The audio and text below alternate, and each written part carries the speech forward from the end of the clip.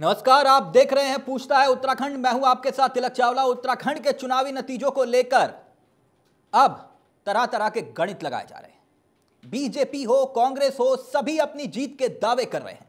लेकिन पिछले चार विधानसभा चुनाव के ट्रेंड को भी देखा जा रहा है।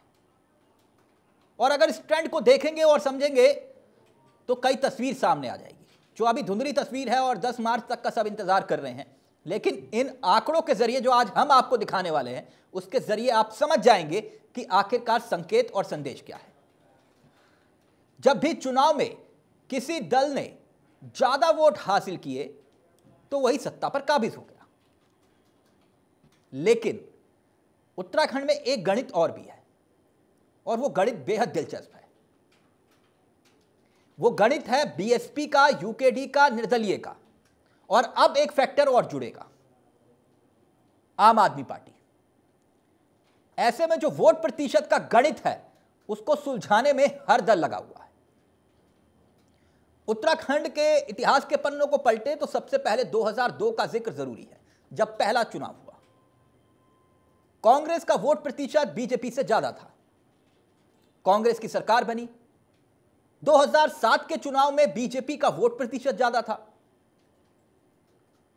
अब बीजेपी की तब सरकार बन गई थी, लेकिन 2012 यहाँ पर महत्वपूर्ण है। कांग्रेस का मत प्रतिशत, यानी जो वोट परसेंटेज है, वो कुछ ही परसेंट के इर्द गिर्द था बीजेपी और कांग्रेस के बीच में। एक सीट का फ़र्क, लेकिन यहाँ पर गेम खेला बीएसपी ने। और बीएसपी लगातार हम कहते हुए आए हैं कि डिसाइडिंग फैक्टर है। लिहाजा बीएसपी ने सरकार बनने में महज जो अहम रोल निभाया, वो 2017 में बीजेपी और कांग्रेस के वोट प्रतिशत का जो अंतर था, उसमें भी एक वोट प्रतिशत बीएसपी का भी था। ऐसे में इतिहास के पन्नों को पलटे और देखें और समझें तो संकेत बिल्कुल साफ़ नज़र आता है। अब देखिए यह आंकड़ा जो हम आपके सामने रख रहे हैं 2017 का आंकड़ा है। जब एक तरफा वोट पड़ा था बीजेपी को। 40 प्रतिशत, सैंतालीस प्रतिशत के आसपास कांग्रेस को देखिए, तैंतीस प्रतिशत के आसपास। बीएसपी को 7 प्रतिशत, यूकेडी को शून्य दशमलव सात चार। लेकिन निर्दलीय का वोटिंग परसेंटेज देखिए यह है 10 प्रतिशत के आसपास। यह 2017 का हम ज़िक्र कर रहे हैं और 2017 के बाद अब थोड़ा सा पीछे चलेंगे। 2017 के बाद हम चलेंगे 2012 के गणित की तरफ़। अब 2012 12 का गणित देखिए। 2012 का गणित ये कहता है कि बीजेपी और कांग्रेस के वोट प्रतिशत को देखिए। बेहद दिलचस्प आंकड़ा। यहाँ कुछ परसेंट वोट इधर से उधर हुए। सरकार कांग्रेस ने बनाई, लेकिन दोनों को लगभग एक प्रतिशत वोट जो है, ना इधर ना उधर।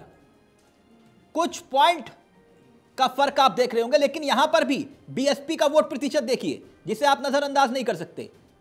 लगभग तेरह प्रतिशत वोट बीएसपी को 2012 में भी मिला था, जिसका ज़िक्र लगातार मैं कर रहा हूँ। अब यूकेडी का भी लगभग उस वक्त दो प्रतिशत के आसपास वोट बैंक था, लेकिन निर्दलियों का वोट बैंक एक बार फिर से देखिए, तेरह फ़ीसदी के आसपास, साढ़े बारह फ़ीसदी। अब 2007 के अंक गणित को भी आपको दिखाते हैं। 2007 का यह अंक गणित देखिए।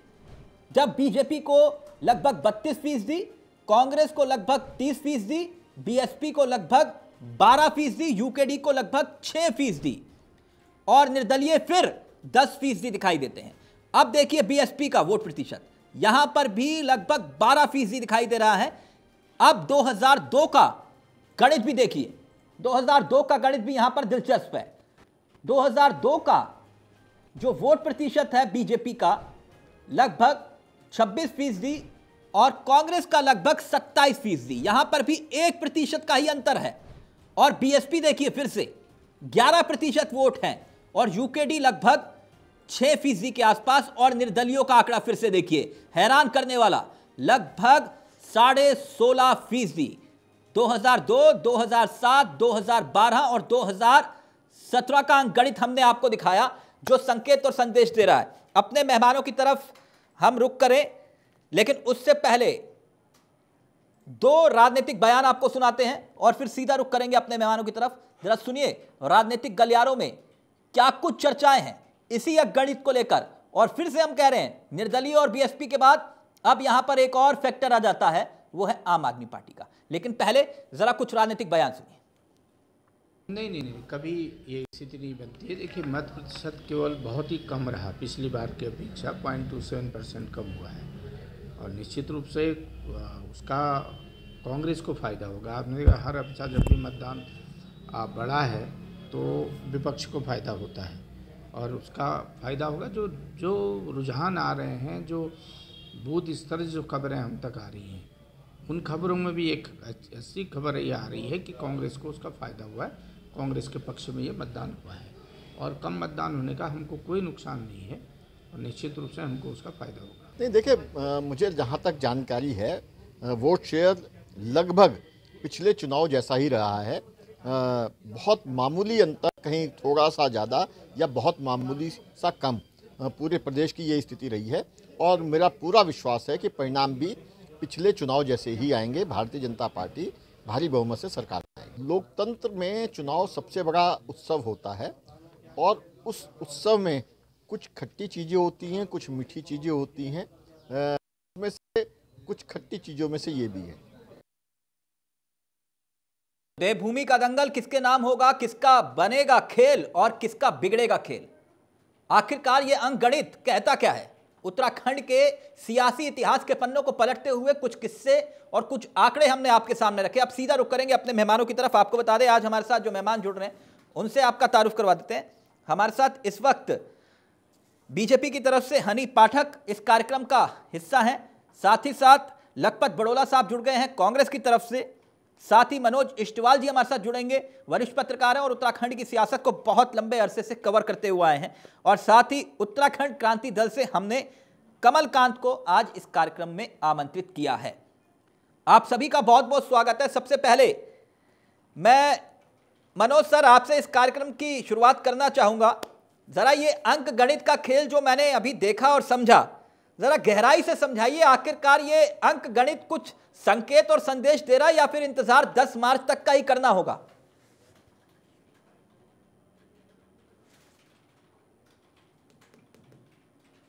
गुणा भाग ज़्यादा हुआ है और इस बार मुझे लगता है कि जो अंक गणित पे जो जोड़ होता है जोड़ की जगह माइनस माइनस जो भी इसमें शामिल करना पड़ेगा हम्म। और भाजपा जिस प्रचंड बहुमत के साथ जिस परसेंट के साथ हम्म।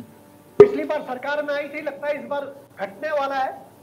मुझे लगता है कि वो अड़तीस तक आ सकते हैं नीचे। हम्म। अड़तीस परसेंट तक आ सकते हैं।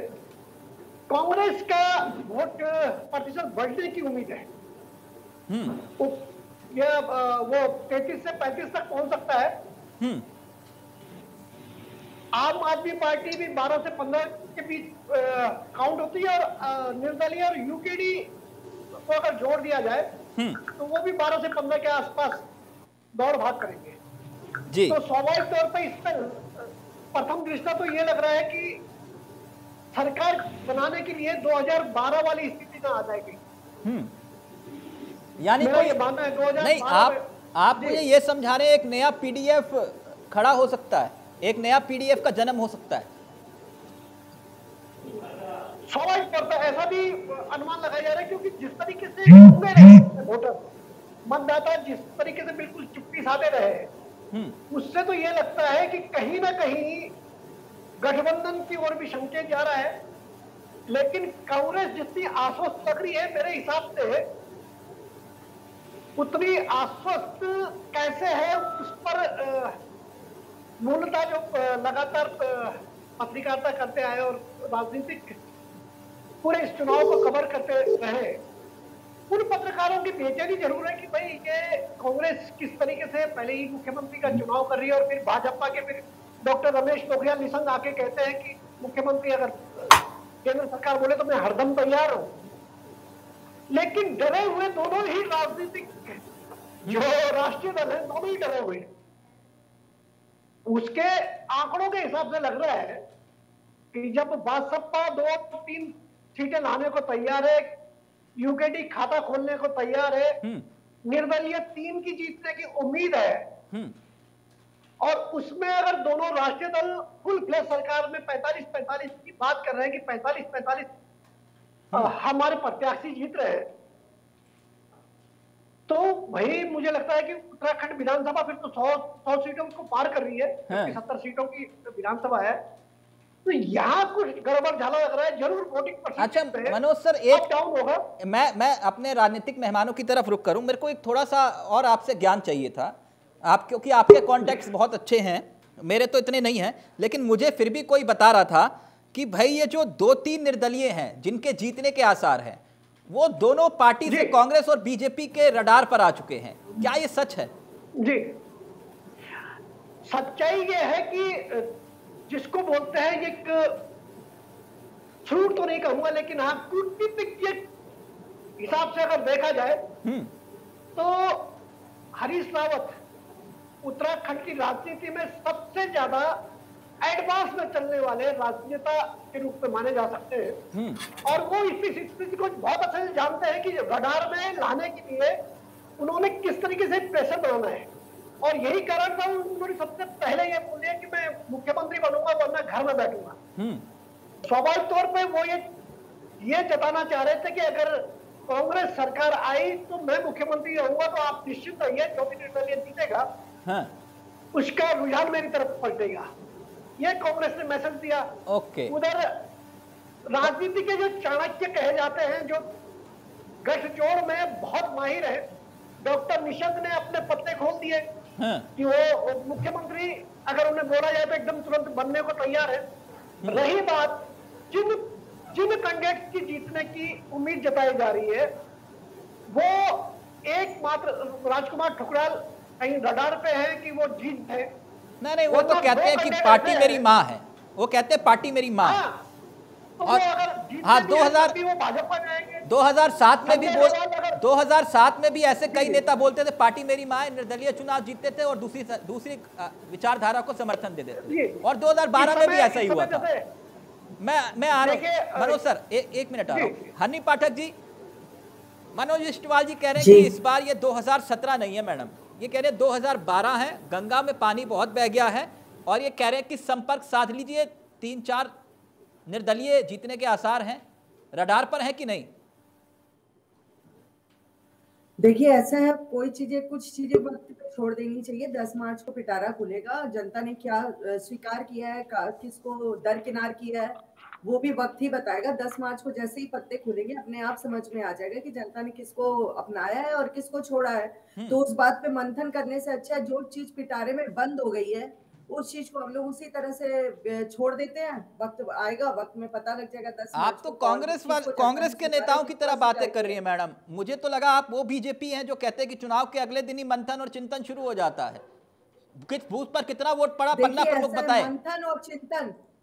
तिलक चावला जी आप लोग जो एंकरिंग है उसमें दोनों बात करते हैं। अगर हम लोग ये बोले कि 100 परसेंट भाजपा जीत कर आ, आ रही है तो आप कहते हैं कि आपको अत्याधिक विश्वास है या ओवर नहीं, तो मैं आपसे ये नहीं कह रहा ना मैडम कि अब बार 60 पार का नारा लगा दो। मैं वही मैं तो सिर्फ़ ये कह रहा हूँ कि जीत रहे हो ना। वक्त बताएगा। वक्त बताएगा। जनता ने अपने वोट को बंद कर दिया है। 10 मार्च को खुलेगा। 10 मार्च को अपने आप पता लग जाएगा कि जनता ने भारतीय जनता पार्टी को ही स्वीकारा है। हम्म। और वोट प्रतिशत कितना बड़ा है कितना घटा है वो तो वक्त बताएगा। लेकिन हम लोगों की तरफ़ से अगर आप देखते हैं तो साठ का पार जो हम लोगों ने नारा लगाया है उस तक तो बात रहेगी ही रहेगी। यानी इस हिसाब से आपको लगभग होगी, क्योंकि 48 जनता ने फ़ीसदी के वोट चाहिए होंगे। मैडम अब की बार 60 पार तो फिर तो आपको 48 फ़ीसदी और 50 फ़ीसदी के आसपास वोट चाहिए। वो तो वक्त वोट तो पड़े ही है ना। वक्त बताएगा कि 10 मार्च को कितना ज़्यादा आंकड़ा सही हम लोगों का निकलता है कितना ज़्यादा नहीं सही नहीं, निकलता है। मैं तो 10 सिर्फ़ मार्च पे बात को ये ना। ये मैं मनोज सर की तरह इतना विद्वान तो नहीं हूँ अंक गणित को लेकर लेकिन फिर भी जो अंक गणित में समझ पाया उस हिसाब से तो आपको 50 फ़ीसदी वोट चाहिए। 50 फ़ीसदी आएँगे तो फिर अब की बार 60 पार का नारा पूरा हो पाएगा। मैं इसलिए कह रहा हूँ। देखिए 50 फ़ीसदी वोट पड़े हैं हमें और 10 मार्च को अपने आप नतीजा सामना सामने आ जाएगा। और जिस प्रकार से कांग्रेस पार्टी इस समय नाच भी रही है कांग्रेस कार्यालय में और धूम भी मचा रही है मैंने वीडियोस देखे थे हम्म। तो वो उनका कॉन्फिडेंस नहीं ओवर कॉन्फिडेंस दिखा रहा है। अच्छा। इतना हम लोग ओवर कॉन्फिडेंस नहीं होते वक्त बता देगा। ओके लखपत जी सुना हनी मैडम क्या कह रही हैं? कह रही है कि वक्त का इंतज़ार करिए पहले से ही ढोल नगारे बजा रहे हैं इससे कुछ हासिल नहीं होने वाला। कोई कह रहा है कि स्वयं भू की भैया मैं ही मुख्यमंत्री बनूँगा वरना घर पे बैठ जाऊँगा। कोई कह रहा है कि भैया देखिए हमारी सरकार आ रही है। ये कह रहे हैं इंतज़ार करो अभी ईवीएम है। मतलब ईवीएम मतलब ईवीएम खुलने दो अभी। प्लीज़ अन्यथा मत लीजिएगा हनी मैडम मैं ईवीएम खुलने की बात कर रहा था। प्लीज़। हाँ लखपत हाँ जी। खुलने दीजिए। सुना आपने हनी मैडम कह रही है कि इतना जश्न मत बनाओ ये ओवर कॉन्फिडेंस है। आवाज़ आ रही मेरी? जी लखपत जी। आवाज़ आ रही? बिल्कुल बिल्कुल सर। अपनी बात रखिए। देखिए मैं आपसे कह सकता हूँ जिस तरह से इनके दो दिन विधायक ने अपने प्रदेश अध्यक्ष पे आरोप लगाया प्रदेश अध्यक्ष ने भीतर घात किया है और जो एक व्यापारी था वो लाखों करोड़ों का मालिक बन गया। चार बार के विधायक है उन्होंने आरोप लगाए। बिशन सिंह इनके कई विधायक, कई मंत्री गठन पे आरोप लगाया। ये तो कि आप आरोप लगाए, ये ये है कि लोगों के बीच जाकर के बाद पाँच सात दिन बाद पता चल जाता है चुनाव लड़ता है क्षेत्र में क्या स्थिति रही। कांग्रेस को मैं इसलिए बहुत ज़्यादा इसलिए आपसे कह कि मैं कि 2017 में आप चुनाव, चाहे उत्तर प्रदेश हो, चाहे और राज्य। मान्य मोदी जी का वे एक प्रकार से मानी चली गई। उत्तर प्रदेश के अंदर से सारे हर पार्टी ने अपने वोट परसेंट में दस से उठाई। लेकिन केवल और केवल उत्तराखंड और केवल और केवल उत्तराखंड कांग्रेस ने अपना वोट बैंक नहीं खोला। लखपत जी आपके ऑडियो में दिक्कत आ रही है। सर आपका ऑडियो बार बार कट रहा है डिस्कनेक्ट हो रहा है। हाँ, आपके फ़ोन पर शायद फ़ोन आ रहा है जिस वजह से समस्या आ रही है। तिलक जी। हाँ। आ रही सर आवाज़ आ रही है कट रही है आपकी आवाज़। मैं ये जानना चाह रहा हूँ वो ये कह रहे हैं कि ओवर कॉन्फिडेंस है ये। ठीक है उनके नेता कह रहे भीतर घात के आरोप। 2012 में भी लगे 2017 में भी लगे।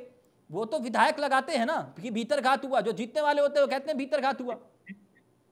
मैंने आपसे कहा है कि हमारा सबसे बड़ा विश्वास करने का कारण ये है है कि आप देखोगे कि दो हज़ार हुए हैं वहाँ पार्टियों ने लगभग लगभग में अपने वोट परसेंट से 20% हुए लेकिन उत्तराखंड मैं दोबारा कनेक्ट अकेला राज्य रहा था लगभग सर मैं दोबारा कनेक्ट करवा रहा हूँ। आपका ऑडियो बार बार कट रहा है।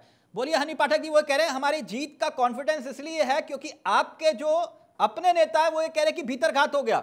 आपके नेता कह रहे हैं कोई कह रहा है कौशिक जी ने कर दिया कोई कह रहा है उन्होंने कर दिया कोई कह रहा है इन्होंने कर दिया। वो कह रहे हैं भीतर घात हो गया यानी बंटाधार हो गया आपका। तय है। बोलिए हनी जी।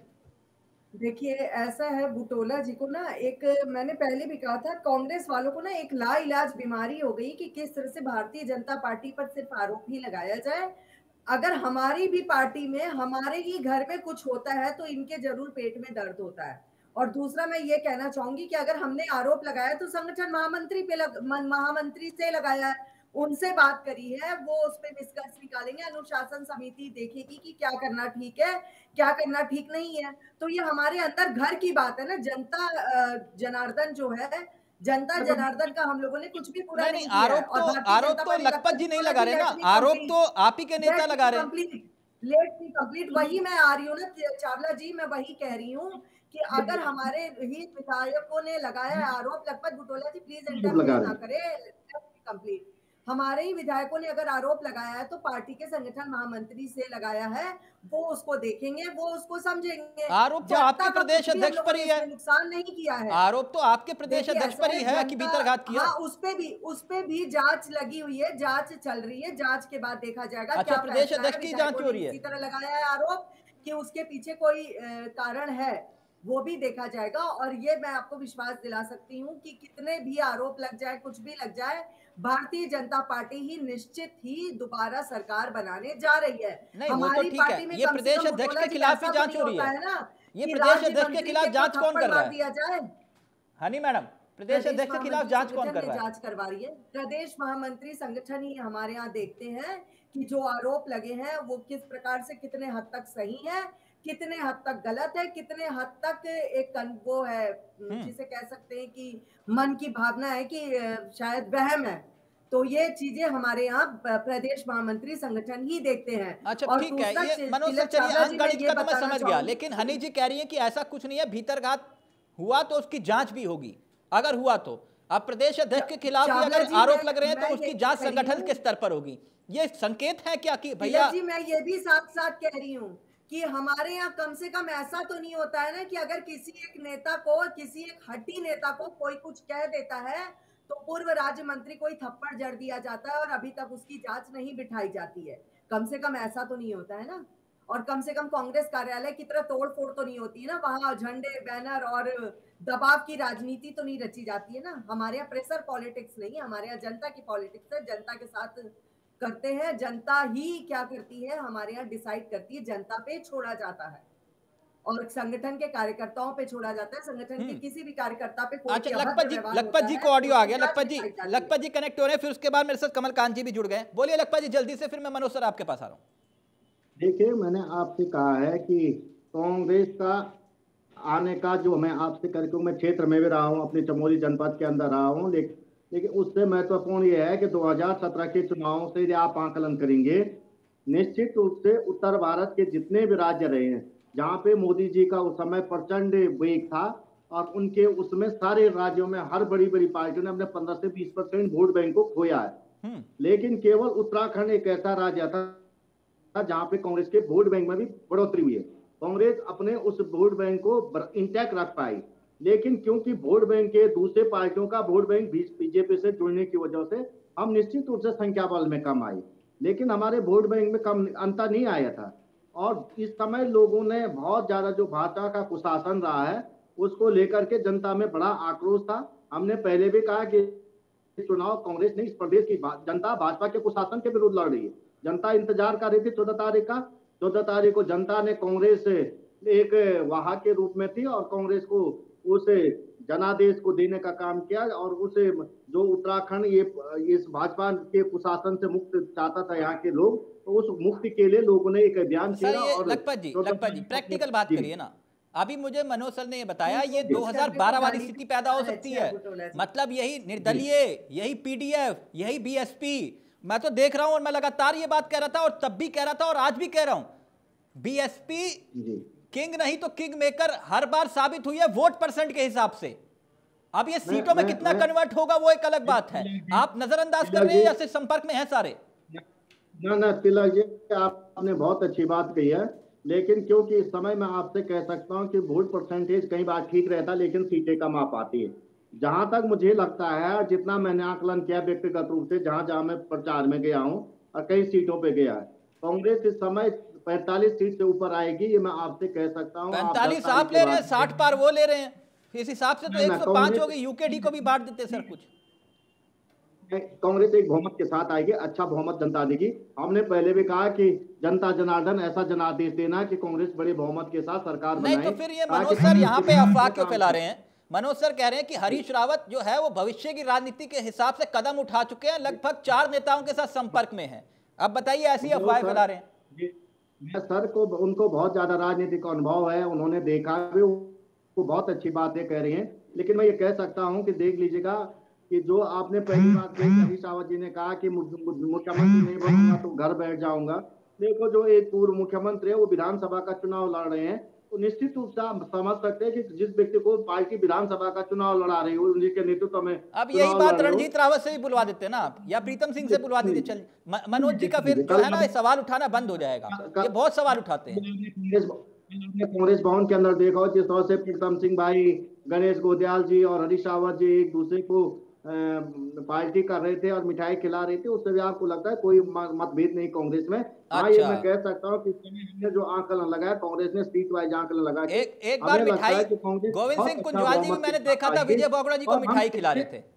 विजय बोगड़ा जी को मिठाई खिला रहे थे। बहुमत के साथ हम थे। गोविंद सिंह कुंजवाल जी विजय बोगड़ा जी को मिठाई खिला रहे थे। जी मैं आपसे पुनः कह रहा हूँ 2000 हम इस समय जनता हाँ 2016 की तारीख बता देता हूँ। ये जो बवाल होने वाला था उससे दो दिन पहले वो कमरे से बाहर निकले थे दोनों से मुलाकात करके और मिठाई खिलाई थी उस वक्त। इसलिए मिठाई सर है अच्छी बात है। ओके कमलकांत जी मेरा ऑडियो आ रहा है आपको? जी जी। कमलकांत जी कुछ उम्मीद है उत्तराखंड क्रांति दल को या फिर आम आदमी पार्टी ने आप लोगों का भी खेल बिगाड़ दिया? देखिए आम आदमी पार्टी के आने से कोई उत्तराखंड क्रांति दल को कोई असर नहीं पड़ती वो चाहे मैदान में हो या ना हो जहाँ उत्तराखंड क्रांति दल दल इस बार आपको अच्छा परफॉर्मेंस देगा और वोट परसेंटेज के हिसाब से भी उत्तराखंड क्रांति दल का बहुत अच्छा रहेगा। जहाँ तक है अपने जो भी अपने प्रत्याशी हैं, सभी जगह अपना अच्छा अच्छा प्रदर्शन कर रहे हैं। रहा ये राष्ट्रीय दल जितने भी है, जितने भी दिल्ली वाले दल है, दिल्ली वाले सभी दल है, पैसा कितना बाहर है, इनसे पूछिए। शराब, दारू और मोर्चे में के दम पर राज्य में चुनाव लड़ा जा रहा है तो इसमें की लोकतंत्र एरिया में बहुत बाधक है। एक ये भी कहना चाहता हूँ जिस तरह से राज्य में चुनाव लड़ा मुख्यमंत्री जी खुद वीडियो में वायरल हुए हैं जो कि पैसा बांटते हुए। तो ये किस तरह से लोकतंत्र के चुनाव में हम एक एक छोटा दल है कि एक उत्तराखंड क्रांति दल जिसने अच्छा कितनी सीटें आ जाएँगी? सर सीधी सीधी बात करिए ना। कमलकांत जी सीधा सीधा बताइए कितनी आ जाएँगी? नहीं सीटों का आकलन तो अभी बोलना ठीक नहीं रहता क्योंकि अभी सभी जगह जब तक चुनाव नहीं हो जाते नहीं क्यों? आप तो आकलन लगा लेते हैं ना कि यहाँ पर ये कैंडिडेट मज़बूत है यहाँ पे ये कैंडिडेट या फिर मैं नाम के साथ बोलूँ? नहीं तो आप किसी के वो अभी आकलन नहीं बना रहे जब तक सब जगह चुनाव चुनाव आयोग के भी क्यों? भट्ट जी के जीतने की उम्मीद नहीं है क्या? सबकी जीतने की उम्मीद है सर। अच्छा सत्तर की सत्तर जीत जाएँगे? नहीं सत्तर चुनाव में हम नहीं लड़ रहे ये मैं स्पष्ट बता दूँ आपको। नहीं तो मैं सीधा पूछ रहा हूँ सर। आप देखिए आपको जिनके देखिए। देखिए मैं आप आप देखिए सीधी सीधी बात करिए सर। हैं।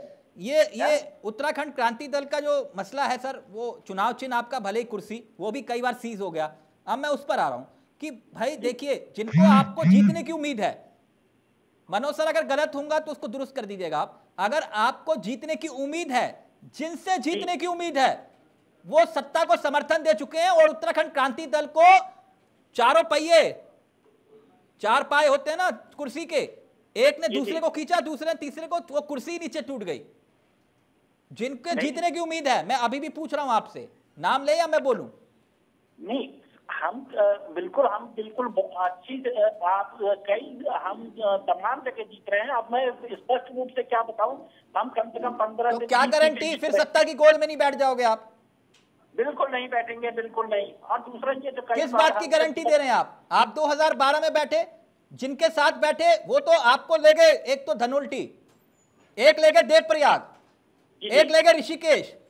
तो क्या गारंटी इस बात की कि सत्ता की गोद में फिर से नहीं बैठोगे आप? मैं आपको विश्वास दिलाता हूँ आपके टीवी के माध्यम से मैं आप इस समय से फ़ोन से बात हो रही है लेकिन मैं आपको स्पष्ट दिलाता हूँ कि कोई भी कहीं नहीं जाएगा और बिल्कुल यहीं बैठेंगे और आप भी यही हैं मैं भी यही हूँ। सर नोट कर लीजिएगा। अभी बोलिए तो मैं तीन सीटों के नाम गिनवा दूँ जहाँ से उम्मीद है आपको। खैर मनोज सर ये ये ये सारे ये जो मोल भाव हैं ये मोल भाव चल रहा है या अभी या फिर नहीं चल रहा अभी? मनोज सर का ऑडियो प्लीज़।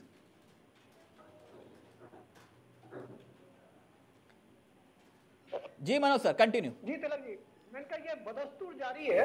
हैं। और ये खेल तयमात का सिर्फ़ कांग्रेस और भाजपा में ही नहीं है हम्म, बल्कि दलगत, जो, ये दोनों दल है, राष्ट्रीय दल, इनके नेताओं में आपस में भी चल रहा है।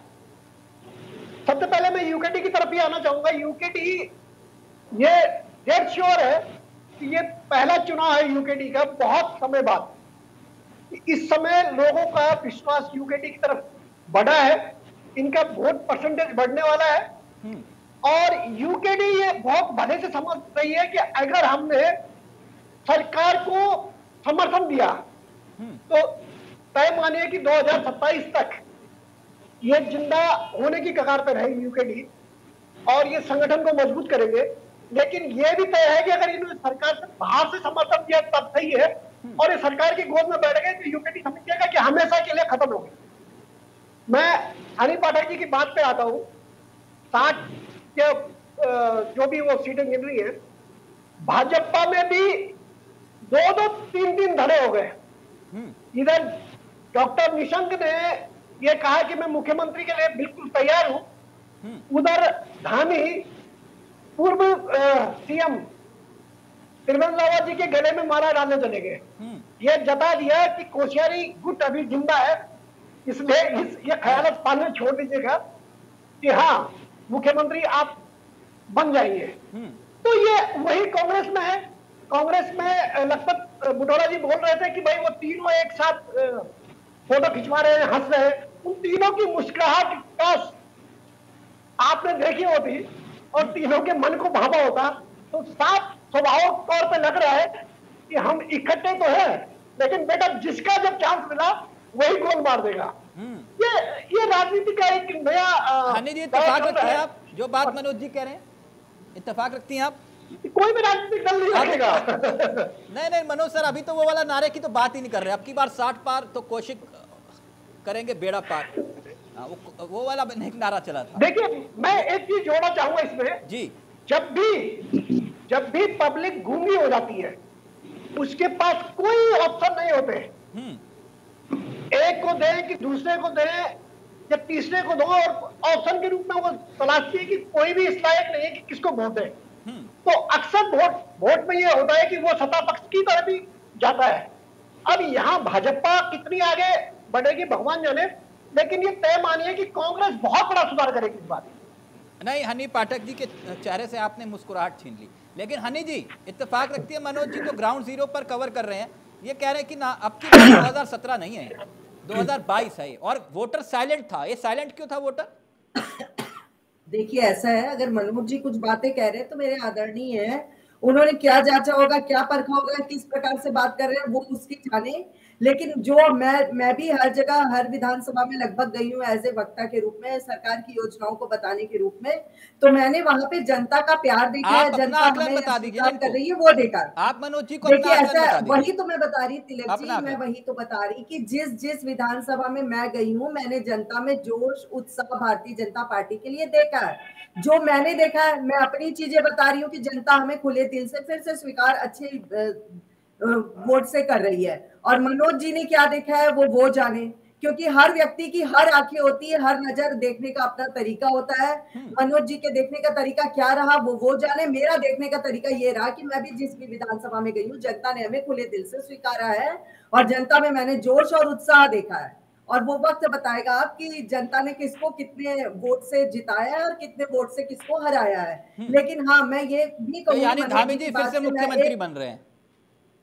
देखिए ऐसा है धामी जी मुख्यमंत्री फिर से बन रहे हैं। ये बात यहाँ पर यशस्वी प्रधानमंत्री नरेंद्र मोदी जी ने भी इशारा कर दिया था राजनाथ सिंह जी ने भी कर दिया था और जेपी नड्डा जी अच्छा ने भी चीज़ का इशारा कर दिया था। अगर मैं गलत नहीं हूँ देख रहे हैं? देखिए ऐसा है हर व्यक्ति को ये लोकतंत्र है हर व्यक्ति को अपनी बात रखने की पूरी आज़ादी है। उन्होंने ये बात रखी है कि अगर जनता अगर केंद्र ने चाहा तो या केंद्र अगर मुझे बनाता है तो उन्होंने लेकिन जिद नहीं करी है ऐसा हटी स्वभाव उन्होंने नहीं दिखाया है कि मुख्यमंत्री बनने के लिए वो दिल्ली तक पहुँच जाए और वहाँ पर जाके ये दिल्ली हो रहा है। मुझे लग रहा है, हटी मतलब- आपस में सिर्फ़ फुटा फुटवल कर रहे हो नहीं, ऐसा व्यक्तित्व आपको देखने में नहीं आएगा जैसा कांग्रेस में होता है ओके, ओके, जैसा जी। कांग्रेस में हो रहा है कि खुद मुख्यमंत्री बनने के लिए खुद मुख्यमंत्री बनने के लिए इनके हरीश रावत जी एड़ी चोटी एक कर दिए थे कार्यकर्ताओं को भी दरकिनार कर दिए थे और आपस में सिर फूटा फूटा हुआ लोग ओके, लखपत जी, जल्दी से फिर- फिर कमलकांत जी आपके पास उन्होंने प्रभारी तक बदलवाने की पूरी पुरजोर अब लखपत जी को सुन लीजिए मैडम एक मिनट एक मिनट। लखपत जी ये कह रहे कि हरदा जो है वो हारदा है। हारदा वो फिर भी सपने देख रहे हैं कि चुनाव जीतने के बाद वही मुख्यमंत्री बनेंगे ये कहते हैं हट धर्मिता बोलते हैं इसे। देखिए एक चीज़ तिलक जी आप बहुत समय से राजनीति में इस देश सबके में बहुत नेता हैं। जिनकी राजनीति के चालीस दशक से राजनीतिक धुरी बने हुए हो उनमें जी भी हैं। कहीं आते हैं, चले जाते भाग्य से बन भी जाते भाग्य से बिगड़ भी जाते हैं, और कई बार लहरों में जीत भी जाते हैं, लेकिन जुमलों में जीत जाते हैं। लेकिन वो व्यक्ति जो संघर्ष से आता पाँच दशक तक एक छत्र राजनीति की धुरी बनी रहती है तो ऐसा हरीश रावत ही हो सकते हैं। तीन लोकसभा, देश का प्रतिनिधित्व किया उन्होंने, और विधायक रहे हैं, मंत्री रहे हैं और चुनाव जीते और हारे भी जाते हैं ऐसा कोई बड़ी बात नहीं। लेकिन मैं ये कह सकता हूँ कि हरीश रावत जी पूर्व मुख्यमंत्री हमारे पार्टी के वरिष्ठ नेता हैं और पार्टी ने उन्हें विधानसभा का नेतृत्व भी दिया नहीं है तो वो स्वयं खुद को मुख्यमंत्री क्यों घोषित कर रहे हैं? अभी नतीजे आए नहीं। अभी नतीजे आए नहीं। किसने कहा? कौन आपने कहा ना विधायक चुनते हैं। विधायकों ने तय कर लिया हरीश रावत मुख्यमंत्री होंगे। सुन लीजिए यथार्थ यह है कि जो हमने देखा हनी जी का मजबूरी है उनकी करना ना। एक कारण दो हैं। पहला कारण मैं आपसे कह सकता हूँ सत्रह के चुनावों का आप देखोगे हमारे सीटों से मत देखिए। हमारे वोट परसेंटेज में गिरावट नहीं आई। जबकि आप सपा बसपा उत्तर प्रदेश से लेकर आप जितने भी राज्यों में चुनाव हुए हैं उनके वोट बैंक में पंद्रह से बीस परसेंट कांग्रेस का भी आया उत्तर प्रदेश में। तो बहुत वोट बैंक में गिरा, लेकिन उत्तराखंड में वोट बैंक में गिरावट नहीं है दूसरे पार्टियों का वोट बैंक भाजपा से इंटैक्ट हुआ और वो बड़े मस्तर पे गया और कांग्रेस कम सीटों को जीती। इसमें कोई दो नहीं। लेकिन क्योंकि इस समय उत्तराखंड की जनता ने जो पाँच साल का कुशासन देखा है, उसको लेके जनता में जो परिवर्तन का मूड था और कांग्रेस को समर्थन देने की बात थी, वो जो हमारे ईस्टवाल जी भी बोल रहे, मनोज जी बोल रहे वो यदि कांग्रेस को चौतीस पैंतीस के आसपास गिन रहे तो इसका मतलब कि इस प्रदेश की जनता चाहती थी कि उत्तराखंड में कांग्रेस आए परिवर्तन हो। और मैं आपसे कह रहा हूँ कि मुझे जो लगता है कि कांग्रेस एक अच्छे बहुमत के साथ सत्ता में आएगी हमें किसी के समर्थन की ज़रूरत नहीं पड़ेगी पहली बात। दूसरी बात मैं आपसे कह रहा हूँ अगर ज़रूरत पड़ी तो। कोई नया पीडीएफ खड़ा हो गया तो। जी कोई नए कोई नए हरीशचंद्र दुर्गापाल आ गए तो। हाँ, कोई सुरेंद्र कोई नए सुरेंद्र राकेश आ गए तो। कोई नए प्रीतम पवार आ गए तो। साथ जुड़ेंगे कांग्रेस के साथ मिलकर चलेंगे। कांग्रेस की विचारधारा हाँ तो आप सीधा बोलिए ना सर आप ऐसे कह रहे हैं कि हमें ज़रूरत ही नहीं पड़ेगी। नहीं नहीं यदि आपने कहा यदि इफ़ ऐसा हो गया तो तो मैंने आपसे कहा ऐसा होगा तो जो लोग कांग्रेस के विचारधारा उसके तो बैसाखियों के सहारे ही चलोगे ना आप? 2012 से 2017 बैसाखियों में चले थे आप। प्रदेश के विकास के साथ आगे चलना चाहते हैं कांग्रेस के साथ चलना चाहते हैं। और भाजपा को यदि सत्ता से बाहर कर रहे हैं तो उस पार्टी से कौन जुड़ेगा जिस पार्टी को प्रदेश की जनता बाहर कर रही ओके तो हनी पाठक जल्दी से फिर मनोज जी आपके पास आ रहा हूँ। बोलिए क्या कहना चाह रही हैं आप? बुटोला जी कह रहे हैं तिलक जी की मनोज इस्टवाल जी की अगर बात मानते हैं तो चौतीस पैंतीस कांग्रेस को समर्थन मिल रहा है। तो मनोज जी- इस्टवाल जी की बात ये भी मानिए ना कि उन्होंने ये कहा है कि कांग्रेस से ज़्यादा ही सीट का इन्होंने आकलन किया है भारतीय जनता पार्टी का। इसी से मान लीजिए कि आप उनकी एक बात तो मान रहे हैं, बुटोला जी, और दूसरी बात को आप स्वीकार करना तो क्या मुँह से बोलना तक पसंद नहीं करते हैं? और दूसरी बात ये कह रहे हैं तिलक जी कि मतलब इसका कि जनता चाहती थी कि कांग्रेस की सरकार बने। थी का क्या मतलब है? जरा मुझे ये भी बता दें, क्योंकि जनता जो चीज़ चाहती है, उसको तो वो करके दिखा देती है।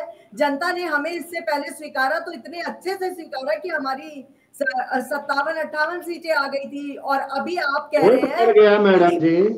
अरे सुन लीजिए सुन भोला जी उतावलापन जनता ने अच्छा नहीं है। इतना उतावलापन अच्छा नहीं मुझे है। पता है आप हरीश रावत की सेना है उतावले तो होंगे ही लेकिन उसको नहीं भी हरीश रावत की सेना माध्यम से मतलब मत वो तो कांग्रेस ही है मैडम। हरीश रावत की सेना मतलब। देखिए ऐसा है हरीश रावत की सेना में बोलूँगी क्योंकि उतावले जैसे हरीश रावत जी हैं वैसे ही बुटोला जी हो रहे हैं तो उतावलापन तो यही कहलाता है कि हरीश रावत जी के लिए तो मैंने एक टैग खुद स्वयं हनी पाठक ने एक टैग बना दिया हरीश रावत जी के लिए अति उतावलापन। तो अति बचकाना हरकतें करने वाले अति उतावलापन व्यक्ति तो वो उनमें है। और वो उसको सिर्फ़ मुझे ही नहीं पूरे उत्तराखंड की जनता क्या उत्तर प्रदेश वगैरह सब जगह उन्होंने ये बता दिया है कि मैं पत्थर कोई भी हड्डी सकता है आसमान का कुछ नहीं जाता हूँ। अगर मैं मुख्यमंत्री बनना चाहता हूँ तो मैं रहूँगा। इसके लिए चाहे मुझे कुछ भी करना पड़े एड़ी देश चोटी एक करना पड़े। और फिर ये हम पर आरोप लगाते हैं तिलक जी छाछ बोले तो बोले छन्नी क्या बोले जिसके खुद बात कर अच्छा ये छोड़िए मैडम। मैडम आपका एक मिनट एक मिनट लखपत जी लखपत जी। आपका तो अनुभव बहुत अच्छा है। ये 2016 वाली घटना है या फिर उससे पहले 19-20 कुछ भी होता है तो वो डैमेज कंट्रोल हो जाएगा ना मैडम? हनी मैडम। मतलब जैसे आ, हो सकता है एक आपने बाई चांस हाँ बाई चांस वाली। बाई चांस अगर कोई कुछ 19 20 जैसा आप बता रहे हैं अगर होता है तो। तो हमें पॉजिटिव अगर हम लेकर चलते हैं तो निगेटिव भी लेकर चलना चाहिए। अगर कुछ होता है तो डैमेज कंट्रोल करने की स्थिति में भी भारतीय जनता पार्टी है। मतलब एक हट धर्मी एक चार्टेड प्लेन जो है वो पंतनगर की तरफ़ मूव करेगा और एक चार्टेड प्लेन जो है वो देहरादून की तरफ़। देखिए ऐसा ये भी नहीं कह- कहूँगी मैं कि एक चार्टर प्लेन वहाँ मूव मूव करेगा एक यहाँ मूव करेगा। वो तो वक्त बताएगा कि चार्टर प्लेन की ज़रूरत पड़ती है कि व्यक्ति खुद जाने की ज़रूरत पड़ती है वो वक्त बताएगा। कुछ चीज़ें मैं वक्त पर छोड़ देती हूँ। तो काशीपुर में कुछ चल रहा है मैडम?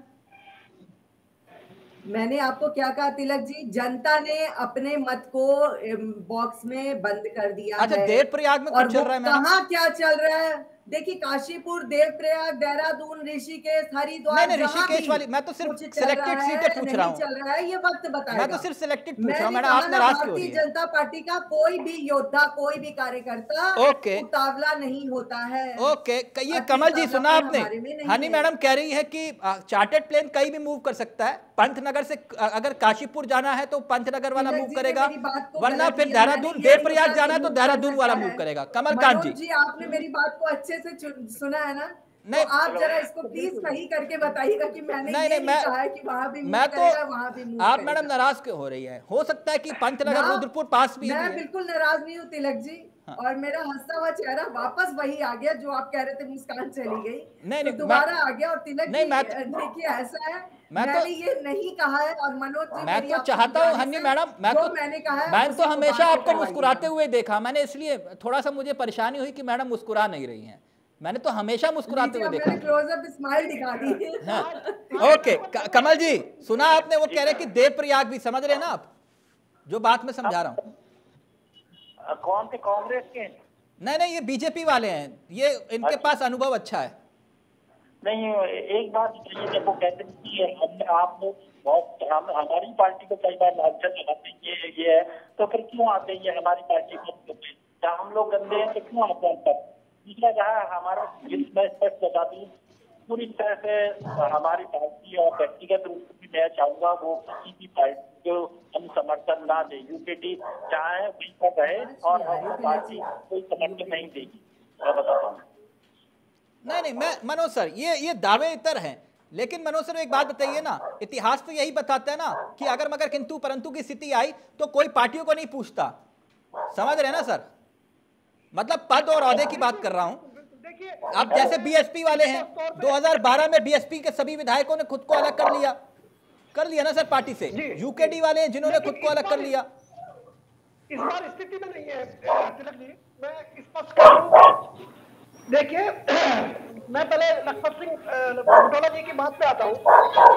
उनका वोटिंग परसेंटेज तैतीस पॉइंट कुछ था रहेगा क्योंकि वो कैडर वोट है।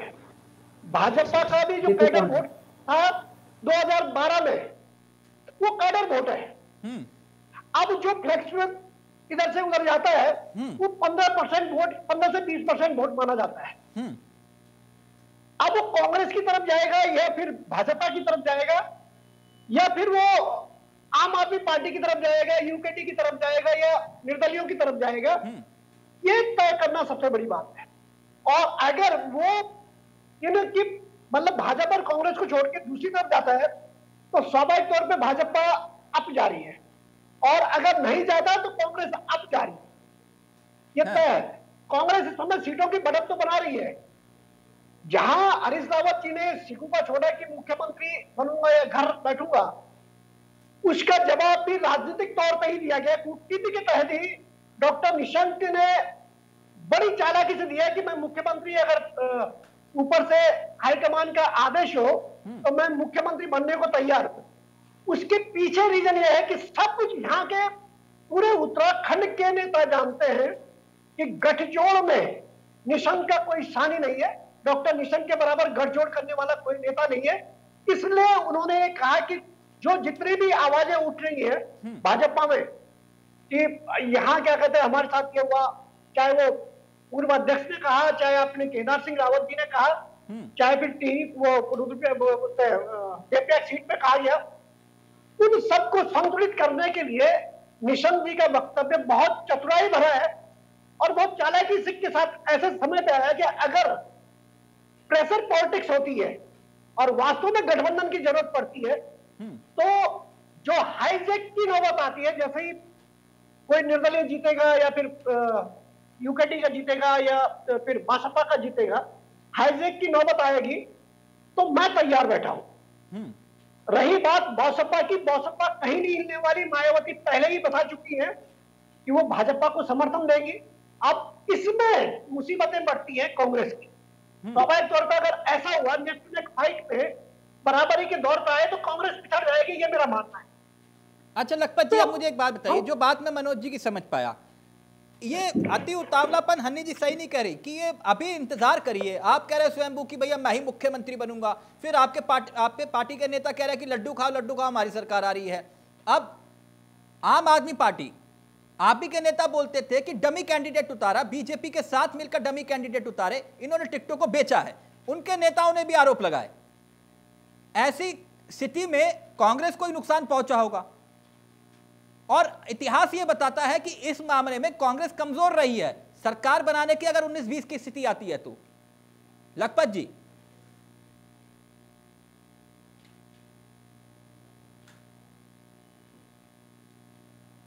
लखपत जी। लखपत जी की आवाज़ आवाज़ नहीं आ रही है लखपत जी प्लीज़ हेलो जी आप बात रखिए सर मैंने कहा आपने देखा होगा 2012 में कांग्रेस को स्पष्ट बहुमत नहीं मिला था। लेकिन क्योंकि आप जानते हैं कि प्रदेश की जनता एक सरकार को हटाना चाहती है और उस उस सरकार के विरुद्ध में जो बहुमत देता है तो क्यों कोई निर्दलीय या और पार्टी के उनके साथ जाएँगे जिसको इस प्रदेश में जो सत्तावन सीट से अट्ठाईस सीट पे आएगी सर इतिहास तो यही बताता है ना कि आपको ज़रूरत पड़ी है। तो पहले तो मैं आपकी मैं कह सकता हूँ नौबत नहीं आएगी। जनता से अनुरोध किया है कि जनता जनार्दन उत्तराखंड में कांग्रेस को स्पष्ट बहुमत देना और मुझे लगता है कि कांग्रेस को बहुत अच्छा बहुमत मिलेगी। ये नौबत नहीं आएगी और ये ब्लैकमेलिंग की स्थिति नहीं चलेगी। जहाँ तक आपने ब्लैकमेलिंग? ब्लैकमेलिंग की जड़ तो आपके हरीश रावत जी ही है। जहाँ तक जहाँ तक आपने जहाँ तक आपने उत्तराखंड के परिपेक्ष में और मान्य हरीश रावत जी के बाद ब्लैकमेलिंग कौन करता है।